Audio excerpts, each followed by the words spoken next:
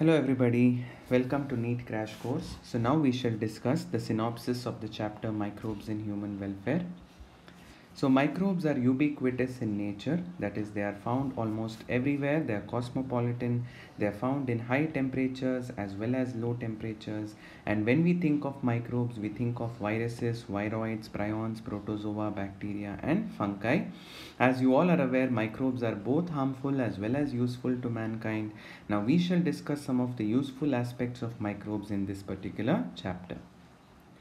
How are microbes useful in household products? Now, the first thing that comes to your mind is something which we reap the benefits day in and day out the microbe, which is lactobacillus. Now, lactobacillus or lactic acid bacteria, as you all know, is involved in the curdling of milk. This curdling of milk is possible because it produces lactic acid through anaerobic fermentation or anaerobic uh, respiration and you know that this lactic acid brings about coagulation of milk protein that is casein. Even the batter of dosa and idli for the rising of the batter or the puffiness of the dough of the bat or the batter is mostly because of carbon dioxide gas that is again a byproduct of fermentation by bacteria. And then even in baking as you know in making breads and cakes uh, the rising of the dough is brought about by the baker's yeast that is Saccharomyces cerevisiae. The scientific name of baker's yeast is Saccharomyces cerevisiae. Then we have certain traditional alcoholic drinks like for example there is toddy and this toddy is a traditional drink of South India which is manufactured or which is prepared by fermenting of the palm sap. Then we have microbes which are also used to enhance the taste of foods like for example it helps in fermenting fish, soya bean and bamboo shoot. And cheese as you all know microbes are used as a flavoring agent for the cheese. For example you can see the Swiss cheese has large holes in it and that is because of the release of large amount of carbon dioxide by a bacteria called Propionibacterium shermani and then you have certain uh, another variety of cheese that is called the Roquefort cheese which is again a particular flavor is given to it by growth of a specific fungi on the cheese. So microbes can also be used as flavoring agents in case of cheese. Then we move on to industrial products. The first industrial product is fermented beverages. Fermented beverages which have alcohol in them. The same yeast which we employed as bakers yeast can also be used in brewing uh, fermented beverages and because they show the characteristic of alcohol fermentation as a means of anaerobic respiration. So we can call Saccharomyces cerevisiae also as brewer's yeast because they produce ethanol we also uh, have depending on the raw material so basically for production of ethanol we can use malted cereal or we can use fruit juice. So depending upon the type of raw material you're using and depending upon whether you are carrying out distillation or not. If you carry out distillation the percentage of alcohol will be higher. If you do not carry distillation out then the percentage percentage of alcohol will be lower. Accordingly we have non distilled beverages and distilled beverages okay Another very important industrial product which changed a lot in the medical industry, which was a breakthrough in medical science, was antibiotics. Now, antibiotics, the literal meaning of antibiotics is against life, but because uh, it kills the bacteria, this against life is from the perspective of pathogenic bacteria. However, if you talk about humans, it is a life giver for us, and therefore it is considered to be pro life and you all are aware about the accidental discovery of uh, antibiotics by Alexander Fleming. Alexander Fleming was maintaining colonies of a bacteria. The bacteria was referred to as Staphylococci. He saw that in some of the colonies, surprisingly, the Staphylococci had, had been killed due to the growth of a mold which was Penicillium notatum and he saw that this Penicillium notatum was releasing a substance which was killing the bacteria in its vicinity and that substance was identified to be an antibiotic which was called an antibiotic and he named it penicillin and so he used this penicillin in order to destroy the bacteria that was causing a lot of infection in wounded soldiers of World War and however the effectiveness of this antibiotic was later established by two scientists called Ernest Chain and Howard Florey. So we have Fleming, Chain, and Florey who were awarded the Nobel Prize in 1945 for all their hard work in terms of antibiotic discovery, in terms of how, uh, in terms of uh, um, also describing its efficacy or its effectiveness. And later came uh, later came uh, many other antibiotics like tetracycline, streptomycin. They were all obtained by purification uh, from microbial byproducts in culture and it became a panacea, a miracle drug for the treatment of several communicable diseases like plague, whooping cough, diphtheria, leprosy that were once upon a time dreaded diseases of the past. Even today we have so many diseases which are becoming resistant to different antibiotics or different novel antibiotics are being discovered each day so that is one of the processes or research processes which is never ending we must say now we shall move on to some of the industrial products which microbes give us. Now for the for example we shall talk about organic acids. So we have fungus aspergillus niger which gives us a chemical product called uh, citric acid. Citric acid is routinely used in confectionaries, in dyeing, in medicine, and in cleaning silverware, etc. Then we have certain bacteria such as Acetobacter aceti. Acetobacter aceti gives us organic acid called acetic acid. As you all know, acetic acid is used as vinegar in preservatives and in preparation of pickles. Then a bacterium called Clostridium butylicum gives us butyric acid and butyric acid is used in preparation of esters that is used as a food additive and animal feed and perfume additives. Then we already discussed about the curdling bacteria that is lactobacillus which produces lactic acid which is used as a supplement because when you curdle it we also get vitamin B12 in the curd which can be used as a nutritional supplement. We have fungus Saccharomyces cerevisiae. We discovered that it is also the brewer's yeast which can provide us with alcohol which is used as a beverage and bacterium streptococcus. Now coming on to enzymes. So we finished discussing organic acids and enzyme and, alcohol. Now moving on to enzymes which are of extreme importance to mankind. For example, you have this bacteria called Streptococcus and Streptococcus is a source of an enzyme called streptokinase which is used as a clot buster. It is used in atherosclerosis where there is formation of a clot in coronary artery and this streptokinase enzyme is known to dissolve those clots and help patients who are suffering from heart attack or coronary artery diseases. Then we have a fungus called Trichoderma polysporum. Trichoderma polysporum is a source of a bioactive molecule. BAM stands for bioactive molecule cyclosporin A. Cyclosporin A is used as an immunosuppressant drug, especially those patients who have undergone transplantation surgery so that their immune system does not reject the organ that they have received from the donor. They are treated with immunosuppressant drugs and this cyclosporin A is used as an immunosuppressant agent and then we have a fungus a yeast which is called monascus purpureus and this monascus purpureus is a source of a drug a bioactive molecule that is called statin. And this statin inhibits the enzyme that is involved in cholesterol synthesis. It decreases the cholesterol production in the body. As a result it lowers the blood cholesterol levels then we have a fungus called Candida lipolytica and this fungus is a source of a very important enzyme called lipases which is routinely employed in detergents. Like for example, the detergents can help in getting rid of oil stains on your clothes isn't it? And on the vessels. And therefore these detergents are provided with lipase enzymes. Also if you bring fruit juices from the market you can see that the fruit juices are very clear as opposed to what we make them at how we make them at home. That is because these fruit juices are treated with certain clearing agents like pectinases and cellulases okay? So these are some of the enzymes of uh, industrial importance that are provided by microorganisms. And also you can see how candida lipolytica can be used in flavoring and cheese and it is also used as a biocatalyst now moving on to sewage treatment, microbes in sewage treatment. In sewage treatment plants, basically two steps are carried out. One is called primary treatment and one is called secondary or biological treatment. Primary treatment is you remove any kind of suspended particle in the sewage. For example, you remove uh, debris by filtration and you also remove the grit or certain soil particles or certain other particles by sedimentation or allowing them to settle and whatever particles that settle down in the sewage is referred to as the primary sludge and the clear solution which is the supernatant is then passed on to another tank to carry out what is referred to as the secondary treatment or the biological treatment.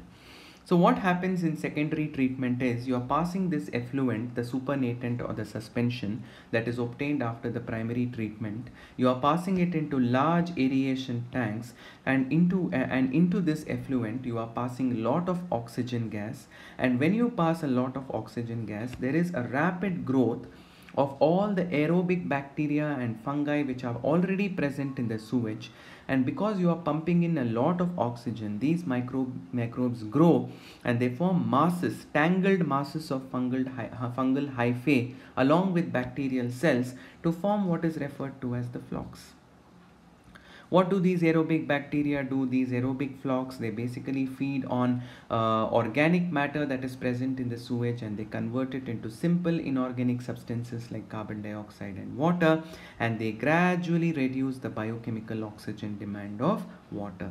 So this is called biological treatment because you are making use of the aerobic microbes already present in the sewage in order to degrade the organic substances that is present in the sewage by giving them a lot of aerobic uh, oxygen supply and the involved the process involved here is obviously aerobic respiration. In other words we can say the process involved here is decomposition okay then what is biochemical oxygen demand? It is the amount of oxygen that is consumed by microorganisms to degrade organic matter present in 1 liter of water. It can also be used as a measure of contamination of water. If the biochemical oxygen demand is low, that means the water is less polluted. So you will continue the secondary or the biological treatment as long as the biochemical oxygen demand comes down. So remember your purpose is to bring down the biochemical oxygen oxygen demand. The lower the biochemical oxygen demand of a water sample, the lesser is the pollution of that water sample or the lesser is the load of organic matter present in the water sample. After you have brought down the biochemical oxygen demand, I told you your main purpose is to bring down the biochemical oxygen demand. After you have brought them down, you will allow them to settle down in the settling tank. And what settles down is those tangled masses of fungal hyphae and bacteria which are referred to as the bacterial flock. And this settlement or this sludge which settles down is referred to as the activated sludge. A small amount of this activated sludge is put back into secondary treatment because you need more and more aerobic microbes there in a tank where you're pumping in oxygen so that the decomposition happens at a greater efficiency. So some of this activated sludge is inoculated back into the secondary treatment or the biological treatment aerobic sludge digesters. Okay. And then what you do is the remaining flocks which have settled down to the bottom, you put them in another tank which is referred to as anaerobic sludge digesters where you don't provide any oxygen whatsoever. In these anaerobic tanks or these anaerobic sludge digesters, the bacteria which are already there in the sewage which get activated are anaerobic bacteria and these anaerobic bacteria will destroy the organic matter that is present in the flock along with the bacteria and the fungal filaments. Remember, the bacteria and the fungi are also basically made up of organic substance. So now you have put them in anaerobic sludge digesters where the anaerobic bacteria degrades the flock microbes and releases a mixture of gases such as methane, hydrogen sulfide and carbon dioxide. And this gas is not a waste product but it can be used as a source of energy in the form of biogas and whatever effluent is obtained from the secondary tank is released into so whatever clear suspension that you obtain after you treat this particular flock that is obviously from treating the flock you are getting the biogas. But then in the previous uh, uh, secondary or biological treatment we saw that the flocks had settled down and we got a clear effluent or a suspension. The effluent or the suspension that we obtained from the secondary or the biological treatment tank is sometimes subjected to tertiary treatment depending upon the source of water whether it may contain certain poisons or toxins in it or in most cases the secondary effluent is directly passed into a natural water body. Only the flock is basically taken into the anaerobic sludge digesters. So remember the sludge that is basically made up of the uh, flocs is what is taken further into the anaerobic sludge digesters whereas the supernatant which is referred to as the secondary effluent is passed off into the natural water bodies. even though the production of sewage is more in urbanization, enough sewage treatment plants are not there. So the big problem is there is lot of untreated sewage which makes its way directly into our water bodies. So then we saw how sewage also gives out a lot of biogas, but then there is a separate apparatus that is involved in biogas production. It can be produced through microbial activity. And basically there are special bacteria which are referred to as which are anaerobic bacteria which are referred to as methane methanogens which produce a lot of methane along with carbon dioxide and water. And this bacteria is the source of biogas so the most common bacterium is methanobacterium. Methanobacterium is commonly found in anaerobic sludge. I told you the anaerobic sludge is usually uh, something which is uh, obtained by the degradation. I told you that the flocks which settle down in the secondary or the biologically treatment plants are taken into anaerobic sludge digester and there you are not producing any, you are not providing any oxygen at all and therefore when there is absolutely no oxygen, only the anaerobic bacteria are triggered to grow and one such anaerobic bacteria is methanobacterium. So it is very very common in the anaerobic sludge digesters or the anaerobic tanks and it is also very common in the rumen of the cattle in the stomach of the cattle. And what these methanogens do is they carry out anaerobic breakdown of cellulose into simple substances. And uh, you know that the cattle excreta which is called gobar is very rich in this bacteria and therefore the gas that is generated by this bacteria is commonly referred to as the gobar gas. Otherwise it is called natural gas or biogas in a biogas plant, you have a concrete tank which is deep into the ground into which you feed a slurry of dung and other organic waste such as kitchen refuse and other organic waste like dead plant remains etc.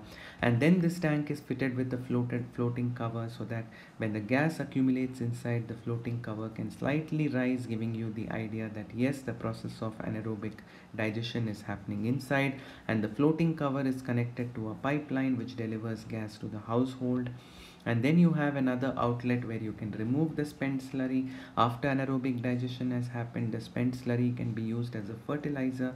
And this is something which is very common in villages that you see. It is mainly developed in indian villages by the efforts of indian agricultural research institute and khadi and village industries commission and then moving on to microbes as biocontrol agents. Biocontrol agents means microbes can act as uh, agents which kill pests and insects. Now see we are using a lot of synthetic pesticides and chemical pesticides and chemical insecticides. By using chemical pesticides and insecticides you are only letting in toxins to the surrounding environment and these are entering the food chain and they are poisoning uh, animals and plants in the surroundings. So therefore to overcome these toxic chemicals we can use microbes to control insects and pests we are also using weedicides to kill unwanted plants but in turn it is polluting the soil the biggest problem is use of chemical fertilizers chemical pesticides chemical insecticides and chemical weedicides to control insects and pests and weeds because we are introducing these toxins into the food chain how do we overcome them? We overcome them by using organic farming.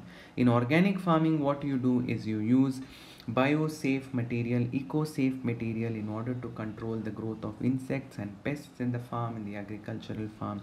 And also uh, like we mentioned in order to control the growth of unwanted plants or weed by using these uh, biosafe or eco-safe material or other microorganisms which don't harm the plant which do not pollute the environment you are not introducing toxins into the environment isn't it in organic farming what we do is we use certain natural predators. Now these natural predators are natural they may be insects or they may be certain microorganisms which destroy other insects and pests which may pose a threat to your crop production which may pose a threat to the yield and crop production so by using these natural predators which are already occurring in nature, by using natural insects, by using natural microbes which are already present in the nature, you are keeping the insects and pests under control and you are also not introducing toxic chemicals into the surrounding environment, isn't it? By doing so, you are maintaining a sustainable ecosystem. You are not introducing foreign agents into the natural environment. You are making use of the available resources. You are maintaining the delicate balance in the ecosystem. For example, you can use ladybird beetle in order to as well as dragonflies in order to control sap suckers like aphids which destroy crop plants as well as mosquito can be controlled and can be uh, mosquito populations can be kept under check by using dragonflies. Like see how you're using a natural predator. You're not spraying some insecticide to kill the aphid and mosquito. By spraying insecticide it will enter the food chain. It will poison the soil. It will cause diseases in case of human and other animals etc so by using these natural predators like ladybird, beetle and dragonflies, you are keeping a check on the population of aphids and mosquitoes. Butterfly caterpillars, we had learnt in biotechnology that caterpillars become very, very rampant in agricultural fields and they can bring about um, a lot of destruction to the crop plants. And how do you control these butterfly caterpillars? By spraying spores of a bacteria called bacillus thuringiensis. This bacterium called bacillus thuringiensis produces spores. You can use the dried spores of this bacteria by mixing it with water and spraying it onto the plants. When the insects that is the larvae or the caterpillar feed on this spore then this spore will enter their uh, gut and in the gut the toxin that is present will be released and it will get activated. It bores holes in the epithelial layer of their gut wall and therefore it kills the caterpillar. It does not cause any harm to other insects. Sometimes when you spray an insecticide even the beneficial insect will die not only will the insect which is acting as a pest which you want to eliminate may die but also another insect which is uh, required for the general well-being of the plant which is beneficial to the plant even that may get eliminated so this is not going to happen by the use of such uh, organic farming methods or certain natural predatory methods. However here we are using a natural predator which is a natural bacterium called bacillus thuringiensis. You're using the spores from them in order to control the caterpillar Trichoderma is a fungus. It is a free living fungus which grows in the root ecosystems. It is effectively used in controlling. It acts, it provides natural immunity to the plant. It provides immunity to the plant against various plant pathogens. Then there is a virus, a pathogenic virus that is called baculovirus which can kill a lot of arthropod vectors including a lot of uh, insect pests.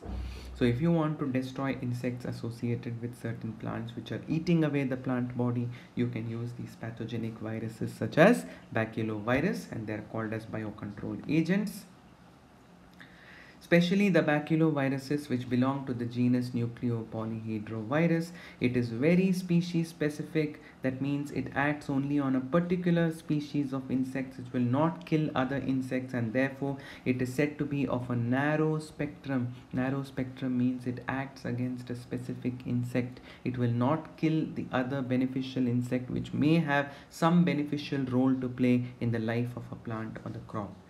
They are known to control several diseases like potato beetles and uh, several insects. They are known to destroy several insect pests like potato beetle, aphids as well as corn borers.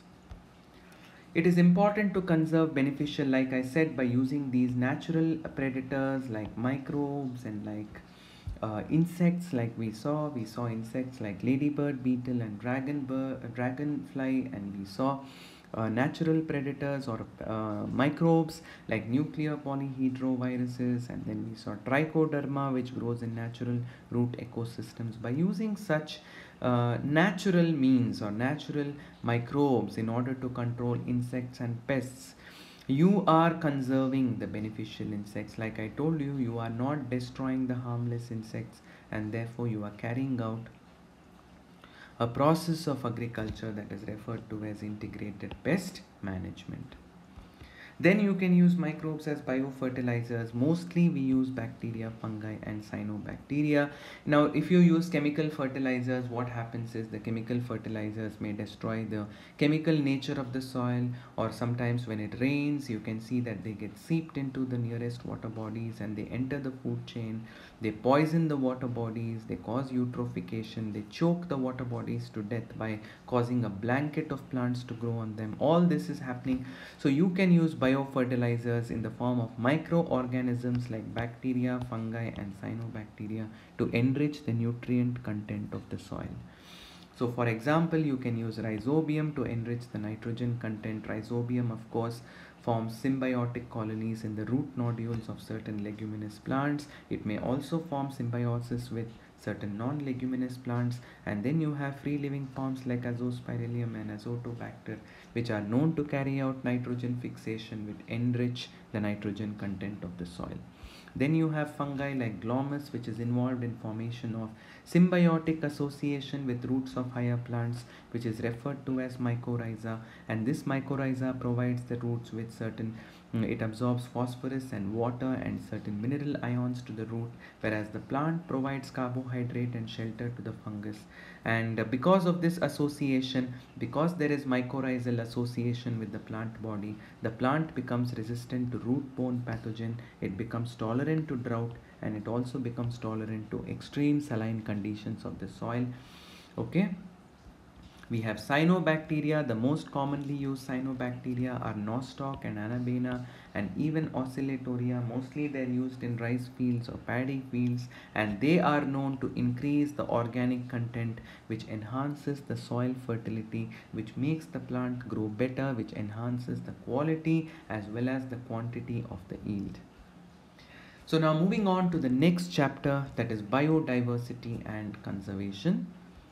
So the synopsis for this begins with the introduction that we are a rich diversity of organisms occupying this planet today and uh, where of course with humans we are dominant species today.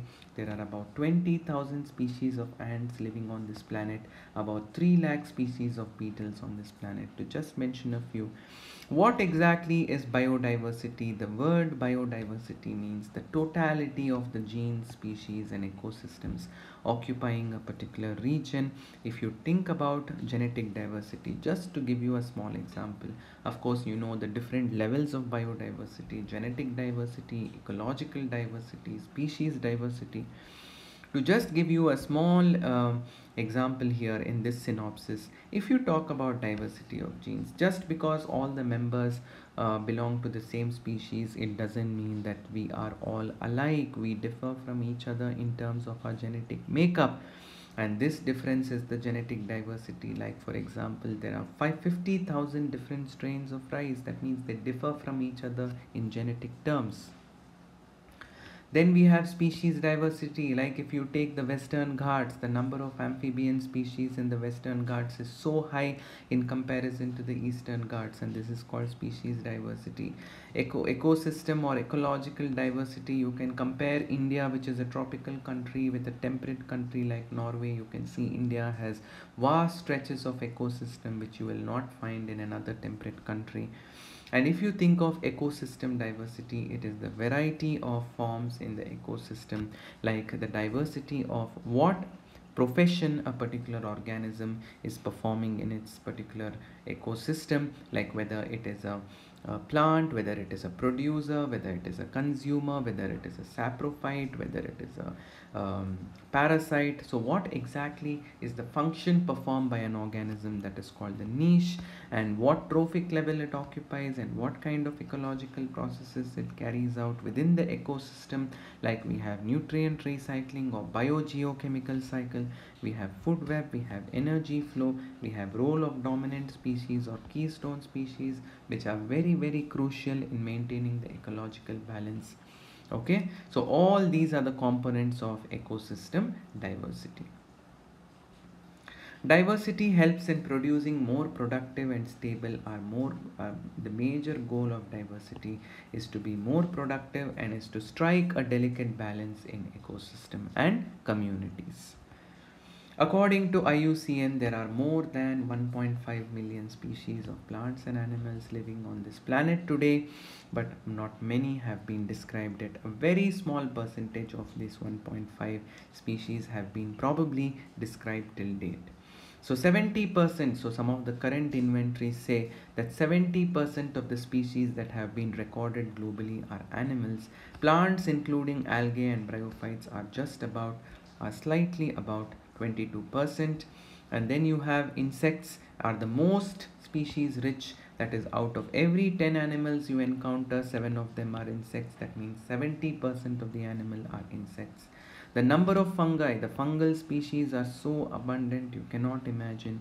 The number of fungal species in the world is more than the combined total of fishes, amphibians, reptiles, and mammals put together. This gives you an idea of how abundant, of how extensive the fungal species are on this planet. If you think about India's contribution to global biodiversity. India has only 2.4% of the land mass, but it contributes to 8.1% of the total global species diversity.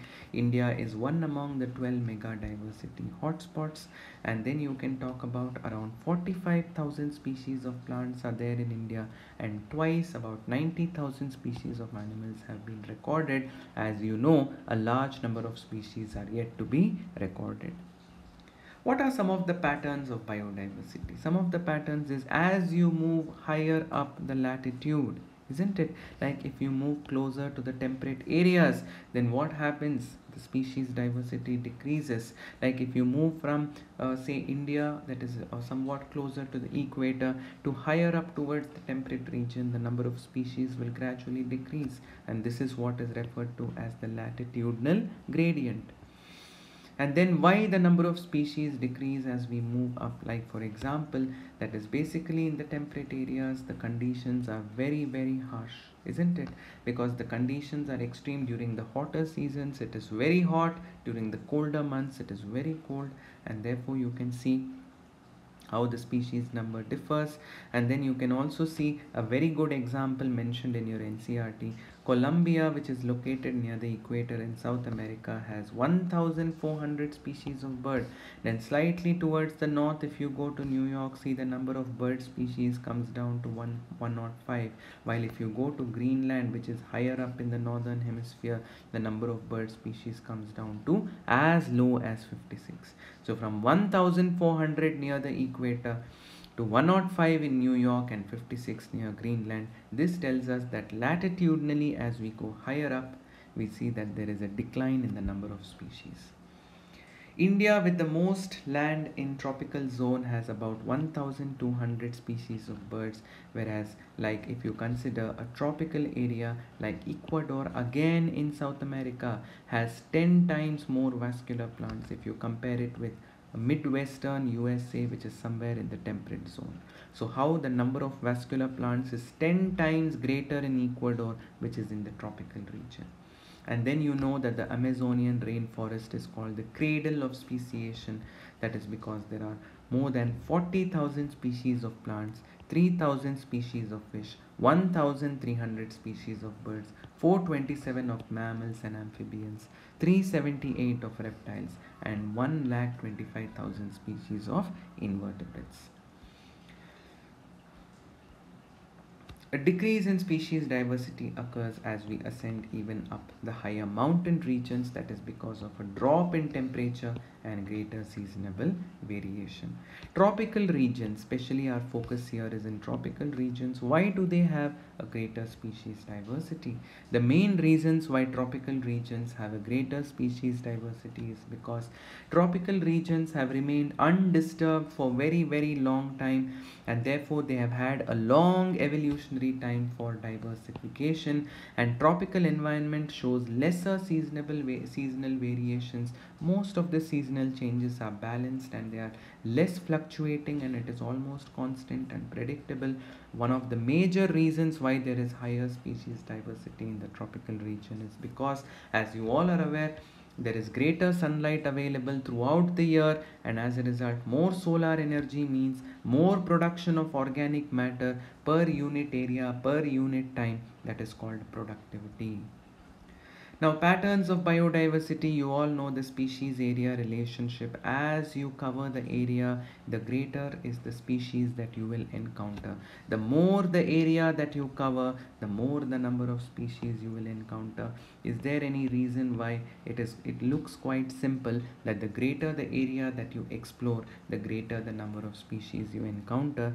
The main reason is as you explore greater and greater area, you are crossing the boundary or the limits of climatic conditions or the environmental changes are being um, brought forth isn't it? So as you explore greater and greater areas the environmental changes are more pronounced and as a result when environment changes you have chances that over the course of evolution the groups of organisms living in those areas have experienced those shifts in climatic or environmental changes and as a result they have uh, adapted themselves to those shifts and they have become new species different from each other. And as you can see how you obtain a curve which can be described by a mathematical equation s is equal to ca to the power z. And of course on converting it onto a logarithmic scale you get a straight line which can be described by the mathematical equation log s is equal to log c plus z log a now here you have to remember that the slope of this line is what depicts the species richness of a particular area. If you have a steeper slope that means uh, in a limited area that you have uh, explored you will find greater number of species richness. So please go through from the NCERT what a steeper slope means and what a lesser slope means okay. Importance of species diversity in ecosystems. Biodiversity is essential for the stability of ecosystem. Very, very important. The more the biodiversity, the more stable is our ecosystem. Productivity, of course, biodiversity also is important uh, for the green plants to be able to synthesize organic matter. So they take care of productivity. They maintain the health of the ecosystem, like for example, the keystone species, which are very, very crucial links in our ecosystem. If for some reason something happens to the keystone species, then obviously the whole ecological balance is lost. The best uh, hypothesis that explains this is the rivet popper hypothesis which tells us that it is not about the species loss as such it is the rate of the species loss and sometimes it is about the loss of a particular species such as the keystone species. Causes of biodiversity loss we have overpopulation, habitat loss and fragmentation. This is the major cause for the loss of biodiversity. We have been using a lot of natural uh, forest land in order to grow say grass and soya bean for raising beef cattle. We've been cutting down trees, we've been burning down forests, clearing the vegetation, we've been uh, fragmenting forests into patches which will confuse animals and uh, birds which follow a definite migratory route which have a mental map of the forest in their mind. By fragmenting it you're making them lose their way as well. So the most important uh, reason for biodiversity loss is habitat loss and fragmentation. Then you have loss of habitat such as annihilation of plants and microorganisms and you're forcing out animals out of those uh, land in order to uh, habit uh, they ha they uh, make new land their habitat and therefore they start entering alien land and they die out after some time.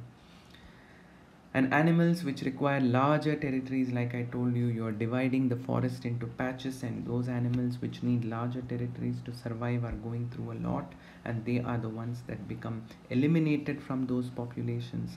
And like we see how tropical forests have been reduced from 40% to almost 6% especially there is the dwindling Amazonian rainforest, which is considered to be the lungs of the planet. Overexploitation, so many species have become extinct today, like the dodo, the passenger pigeon, three subspecies of tiger, and Steller sea cow have become extinct due to uh, in the last 500 years due to exploitation by humans alien species invasion. Now when alien species are introduced from a foreign land into a particular local land then obviously they are going to compete with the local varieties and they may become dominant and they may drive away the local species of plants and animals.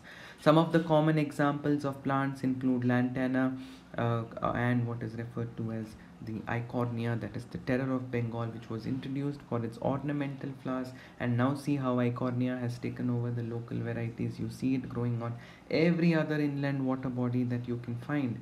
And also there were fishes which were introduced like uh, from african catfish that is clarias gariepinus which was thought to have uh, which was thought to bring some benefit to our aquaculture practices. But today it has become a threat to our local catfish in our rivers and in our water bodies.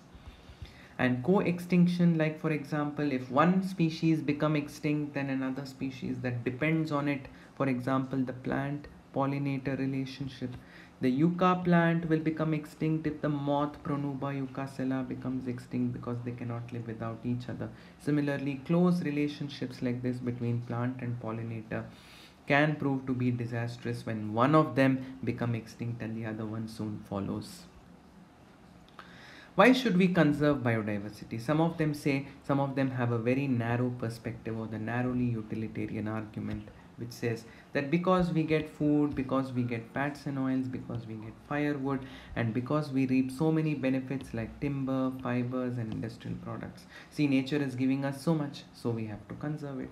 So, this is being very mean. That is just because nature is giving you something, you are conserving it, isn't it?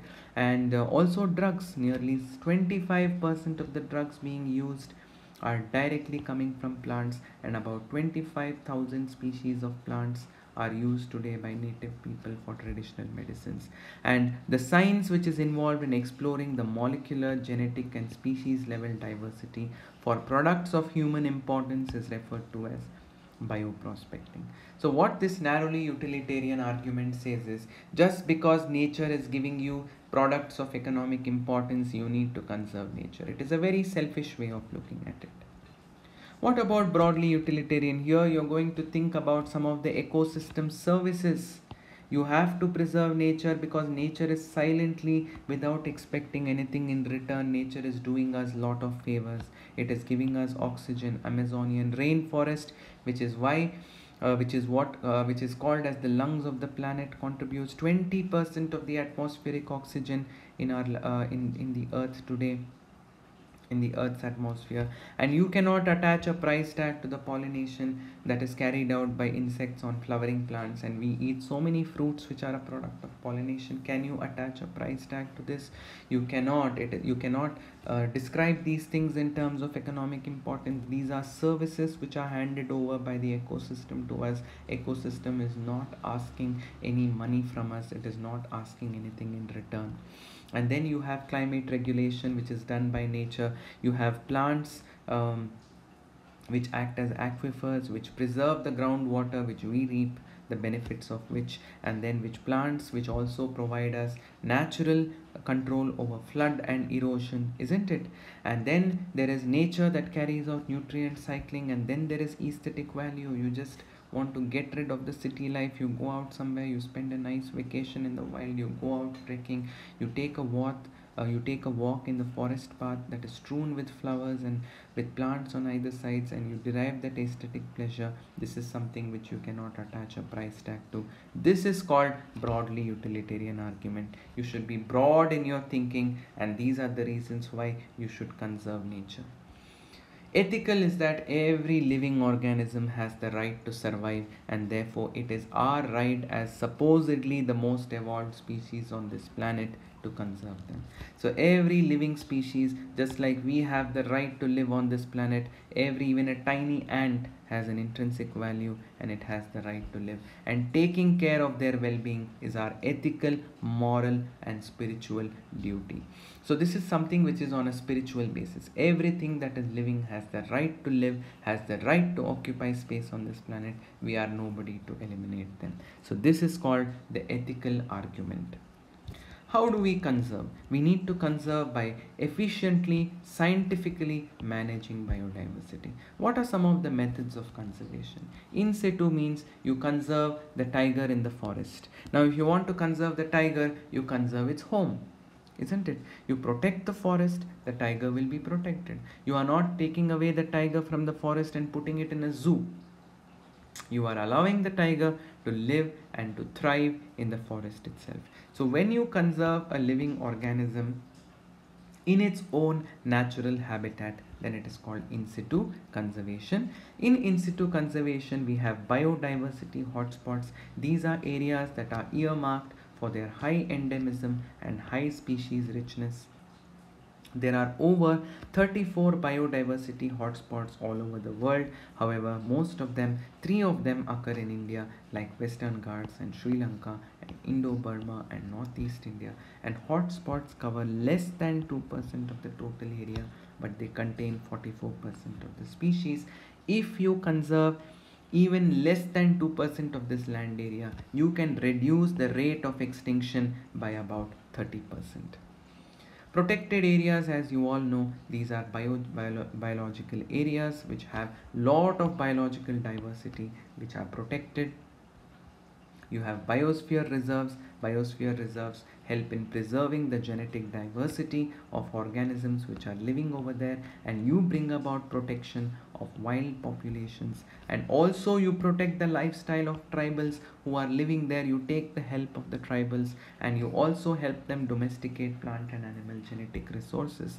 And in India about 14 biosphere reserves have been set up by now Man and Biosphere program that was started by UNESCO, International Biological Program started by UNESCO.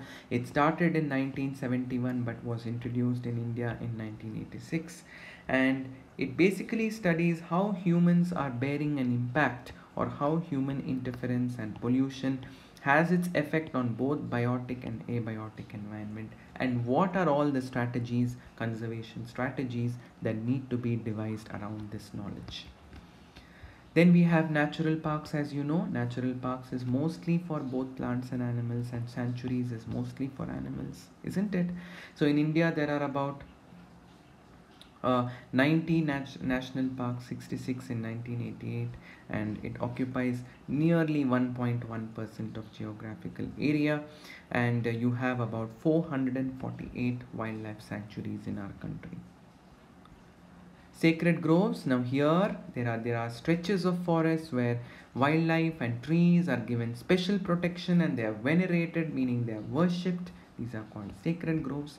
You can learn some of the examples like Khasi and Jaintia hills of Meghalaya Aravalli hills of Rajasthan Western Ghats of Karnataka and Maharashtra Sarguja Chanda and Bastar areas of Madhya Pradesh and even in Meghalaya and then you have endemic species. We had discussed about endemic species when we talked about biodiversity hotspots. Ex situ conservation includes off-site collections. Like you have basically i told you the difference between ex situ and in situ is in case of ex situ conservation you are not conserving the tiger in its home. You are uh, taking the tiger away from it and say you are conserving it in a zoological park or a zoo and you are not conserving the plant in its natural habitat but you're taking it away and conserving it in a botanical garden. So botanical gardens and zoological parks and wildlife safari parks and arboretums are example for off-site collection. And then you have some important aspects is where sometimes you can also preserve the eggs and the sperm of these animals and can be preserved in liquid nitrogen. And plants can also be propagated mostly through tissue culture Gene banks are where you preserve the seeds, live growing plants like orchards and tissue culture, frozen germ plasm, just like how you froze the gametes, you can freeze pollen grain and uh, certain parts of the plant, like for example, the seeds of the plant can be frozen and they can be preserved, frozen embryos in order to use them. In case in the future the plant species suffers an extinction or a danger of extinction. So there are different types of ex situ conservation like seed banks where you preserve the seeds under reduced moisture content and like we said cryopreservation where you are preserving them at minus 196 degrees centigrade.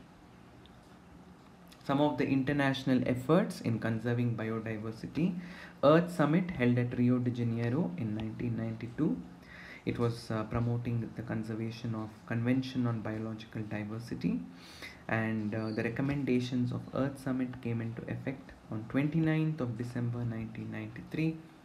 India became a part to this Convention on Biological Diversity which was promoted in the Earth Summit, Summit in May 1994. A World Summit was held in Johannesburg, South Africa in 2002. 190 countries took part and its main aim was to significantly reduce the current rate of biodiversity loss at global, regional and local levels by 210. So with this, we complete the synopsis of two chapters, microbes in human welfare and biodiversity and conservation. Thank you.